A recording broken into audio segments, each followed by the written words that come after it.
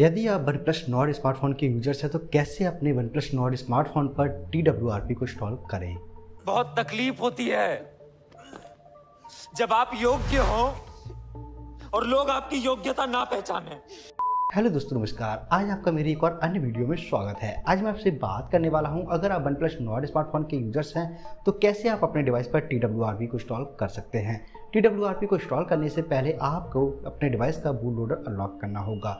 Boot loader unlock कैसे करते हैं, उसके बारे में मैंने पहले ही वीडियो बनाई हुई है। ऊपर आपको आई बटन में लिंक मिल जाएगी। साथ में वीडियो के डिस्क्रिप्शन में भी आपको लिंक मिल जाएगी। वहाँ से वो वीडियो चेकआउट कर लीजिए। उसी में मैंने आपको बताया है कि कैसे आप अपने डिवाइस का बैकअप ले सकते हैं। पूरा ट्यूटोरियल आप उस वीडियो को देख करके कर सकते हैं। आपका सारा डेटा सेव रहेगा। कोई भी आपका डेटा इरेज नहीं होगा। अगर आप वो वीडियो देख करके बूट लोडर को अनलॉक कर लेते हैं उसी के बाद आप यहाँ पर अपने डिवाइस पर TWRP इंस्टॉल करने के लिए इस स्टेप को फॉलो कर सकते हैं। इस वीडियो में मैं आपको बताने वाला हूँ कैसे आप अपने डिवाइस पर TWRP इंस्टॉल कर सकते हैं। अगली वीडियो में मैं आपको बताऊँगा कैसे आप TWRP इंस्टॉल करने के बाद उसे रूट कर सकते हैं। तो TWRP को इंस्टॉल करने के लिए सिंपली आपको यहाँ पर बैकअप लेने की आवश्यकता नहीं है, क्योंकि आपने बूट लोडर जब अनलॉक किया, वहीं पर आपको बैकअप लेने की आवश्यकता होती है। टी इंस्टॉल करते समय कोई भी बैकअप रिक्वायर्ड नहीं है।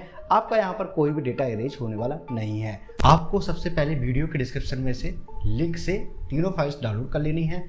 अब आपको एक एक करके इन फाइल्स का यूज़ करना है। सबसे पहले प्लेटफॉर्म टूल्स को आपको एक्सट्रैक्ट करा लेना है। कुछ इस तरीके से ये आपकी एक्सट्रैक्ट होकर के आ जाएगी यहाँ पर।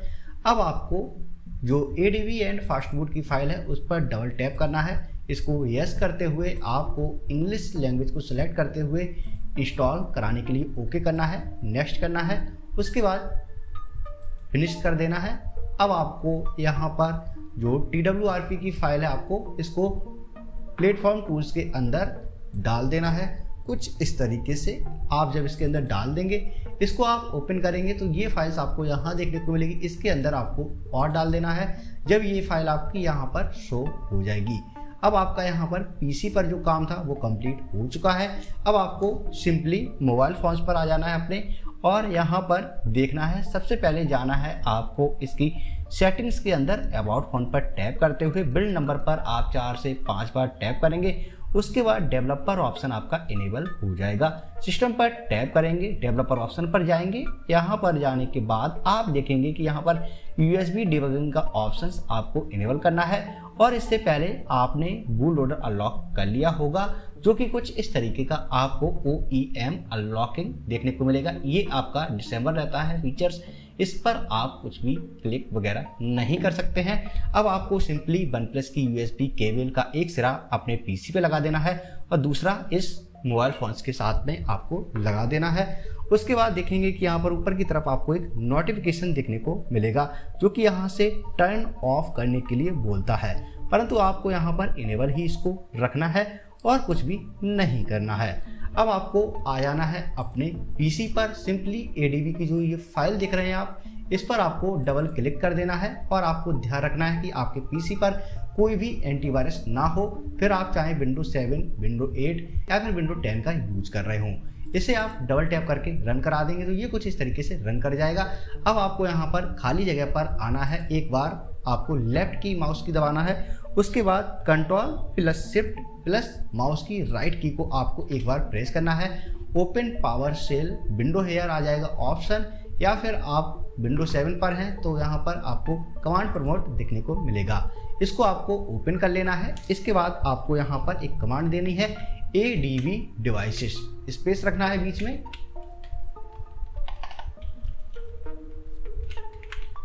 और उसके बाद आपको इंटर की दबा देनी है।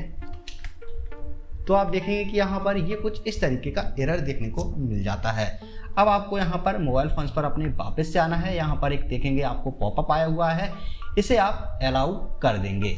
अलाउ जैसे ही मैंने इसको कर दिया है, अब मैं दोबारा से यहाँ पर लिखता हूँ ए डी वी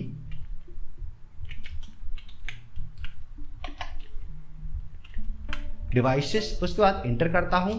तो मेरा डिवाइस यहाँ पर आ जाता है और ये अटैच्ड लिखा हुआ बता देता है। अब यहाँ पर सिंपली मैं कमांड देता हूँ A D V remote boot loader अपने डिवाइस को मुझे बूट लोडर में लेके जाना है।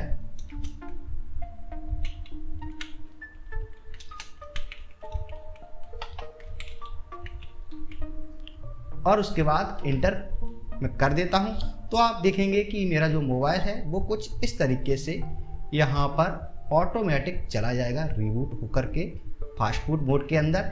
अब यहाँ पर आप देखेंगे जो कि बूट लोडर है, वो यहाँ पर अनलॉक की श्रेणी में लिखा हुआ दिखने को मिल जाता है। तो ये आपका अनलॉक होना आवश्यक है, जैसा कि मैंने बताया। अब यहाँ पर मैं कमांड देता हूँ टी डब्ल्यू आर पी को फ्लैश कराने के लिए fast boot space flash space recovery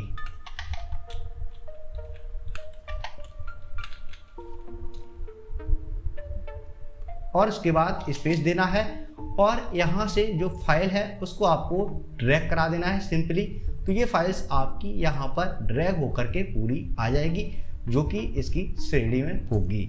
अब आपको यहाँ पर इंटर की को प्रेस कर देना है। जैसे ही आप इंटर की प्रेस कर देंगे, आप देखेंगे सिंपली कुछ इस तरीके से यहाँ पर जो टी है, वो इंस्टॉल हो चुकी है कुछ इस तरीके से। अब आपको यहाँ पर एक बार और कमांड देनी है फास्ट बूट और उसके बाद रीबूट लिखना है आपको, और उसके बाद एंटर कर देना है। अब आपका जो मोबाइल है, वो यहाँ पर रीबूट होगा कुछ इस तरीके से। और अब आप देखेंगे कि आपका जो मोबाइल फ़ोन है, वो यहाँ पर ऑन हो चुका है कुछ इस तरीके से। अब मैं इस केबल को यहाँ पर निकाल लेता हूँ। और अब मैं यहाँ पर से जाना चाहता हूँ रिकवरी पर। तो इसके लिए मैं सबसे पहले फ़ोन को पावर ऑफ़ करता हूँ।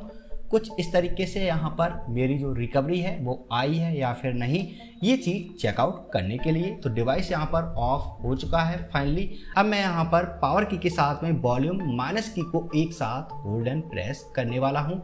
दोनों को एक साथ दबाए रखना है। कुछ समय तक उसके बाद एक वाइब्रेशन होगा। आपको पावर की को छोड़ देना है। परंतु वॉल्यूम माइनस की को अभी भी नहीं छोड़ना है। उसके बाद कुछ सेकंड के बाद आपको इस की को यहाँ पर छोड़ देना है। और उसके बाद आप देखेंगे कि यहाँ पर T W R P team win आ चुकी है।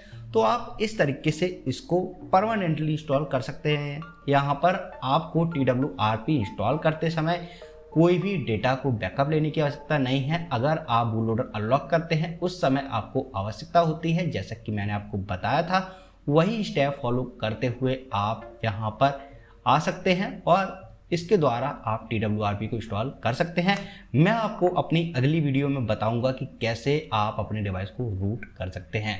मैं आपको स्टेप बाय स्टेप तीनों तरीके बता रहा हूँ, क्योंकि इस तरीके के तरीके कोई भी यूट्यूबर ने अभी तक नहीं बताए हैं। मैं चाहता हूँ आपको कुछ यूनिक और आपके सॉल्यूशन के अनुसार आपको चीज़ें देखने को मिले। अगर यह वीडियो आपको पसंद आई हो तो इसके लिए आप हमारी वीडियो पर लाइक और कमेंट करना ना भूलें। साथ में चैनल को सब्सक्राइब भी ज़रूर कर लें, क्योंकि मैं ऐसी ही वीडियो लाने की कोशिश करता रहता हूँ। थैंक यू जय हिंद जय भारत वंदे मातरम